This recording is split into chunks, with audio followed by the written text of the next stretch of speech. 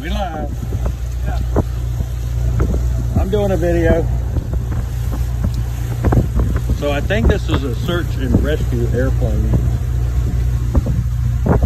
It- It's definitely Coast Guard. But they've been flying that plane in circles for an hour.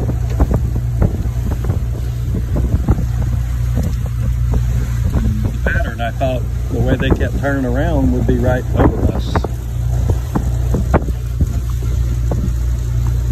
And we got smoke over there burning something. I got smoke over there burning something.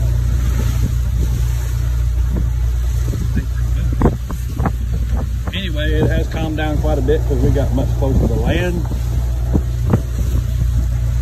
It is um, it was really a pain offshore a little bit, but now it's um, much better and we're going to get even closer, get it as smooth as we can just so it's more comfortable to cook,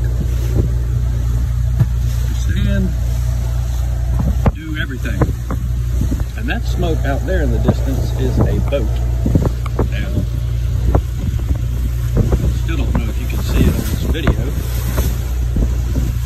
but it's a boat smoking,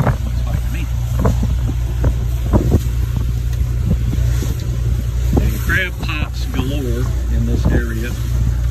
I almost ran over one. I did throw it back and took it out of gear and we went right over it, but it didn't hurt anything.